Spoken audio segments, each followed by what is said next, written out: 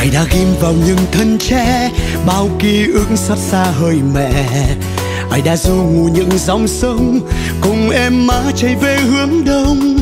Còn đã vẽ hình hài quê hương qua những khúc hát ru của mẹ. Còn bao nhiêu lời ru con vẫn